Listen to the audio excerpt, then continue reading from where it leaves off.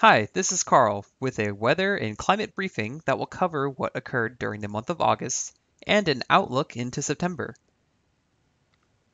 Let's start by looking back at the month of August. These are daily departure from normal temperatures throughout the month of August at the Fargo Airport. The red bars represent days that were warmer than normal and blue bars represent days that were colder than normal. The first two days of August were pretty chilly then most of the next 11 days turned much warmer. With the rest of August, a mix of some days that were warmer and colder than normal. This is another way to look at August daily temperature data from the Fargo airport. This time, daily highs are shown at the top of the red bars, and daily lows are shown at the bottom of the blue bars. The highest August temperature at Fargo Airport was 93 degrees which occurred on both the 12th and 13th. Meanwhile, the coldest August temperature in Fargo was 40 degrees on August 2nd. That 40 degree temperature established a new record low for August 2nd for the Fargo airport.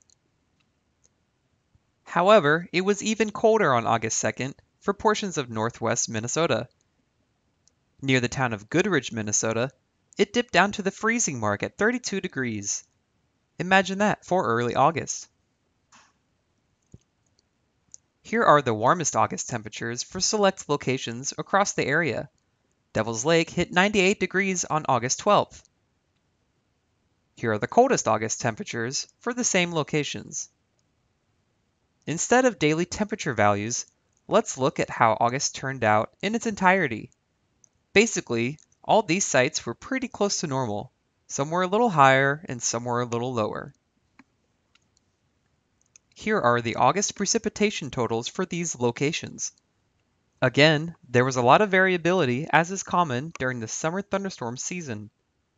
Similar to July, Devil's Lake had the lowest precipitation total out of these locations. This chart shows the number of severe weather warnings issued each day throughout the month of August. The number of severe thunderstorm warnings is shown in orange and the number of tornado warnings shown in red. Only two tornado warnings were issued in August. In fact, most of August was actually pretty quiet. However, it did turn more active to close out the month, especially on August 26th and August 27th. Large hail fell across portions of southern Cass and Clay counties in the early morning hours of August 26th. A hail scar from this event was visible on satellite imagery days later. The hail scar appears brown on this image and is a result of vast crop damage. Two tornadoes occurred across northwest Minnesota on August 26th into August 27th. The image on the right is velocity data from the Mayville radar when storms hit the Winger, Minnesota area, showing wind speeds in excess of 80 miles per hour just above the surface. The Winger grain elevator was extensively damaged by this tornado, thanks to Tracy Monson for this picture. The Pine Lake, Minnesota campground was also hit by a tornado. Thank you, Dan Johnson, for this picture. August will be remembered for its many days with smoke. The state of Minnesota issued air quality alerts on multiple days throughout the month of August. This may seem like a lot of alerts, but looking back to 2012, it's not that uncommon. 2012 and 2015 were also big years for wildfires in the western United States and Canada. This led to vast areas of smoke over eastern North Dakota and Minnesota for several days. Speaking of fires, staff from the National Weather Service in Grand Forks had a chance to observe a prescribed burn near Fosston, Minnesota on August 22nd.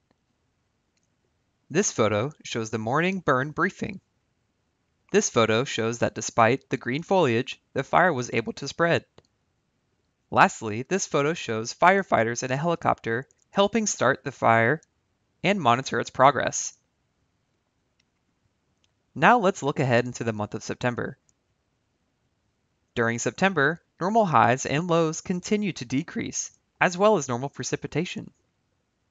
We will also lose about an hour and 40 minutes of day length in September.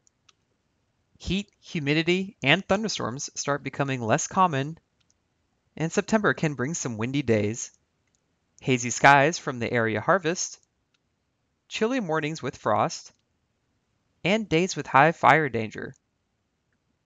This is the Climate Prediction Center's September temperature outlook. For most of eastern North Dakota and the northwest quarter of Minnesota, there are equal chances for above normal or below normal temperatures. This is the precipitation outlook from the Climate Prediction Center for the month of September. Again, for most of eastern North Dakota and the northwest quarter of Minnesota, there are, there are equal chances for above, normal, or below normal precipitation.